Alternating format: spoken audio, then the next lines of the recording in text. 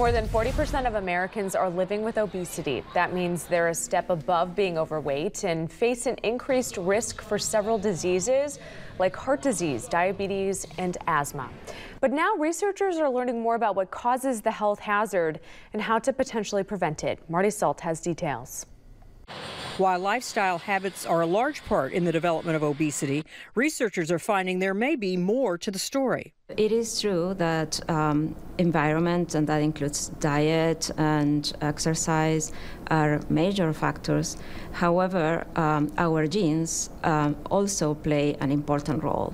University of Virginia scientists recently discovered 14 genes that can cause weight gain and three that can prevent it. They believe that these findings will one day lead to treatments that can target the genes and prevent obesity. But having the obesity genes doesn't mean you're doomed. The genes only make you more likely to develop the disease or less likely. A healthy diet and regular physical activity are still the best ways to prevent obesity. Experts say even small changes can add up. Replacing a daily sugary drink with water can cut 150 extra calories a day, which equals 10 pounds a year.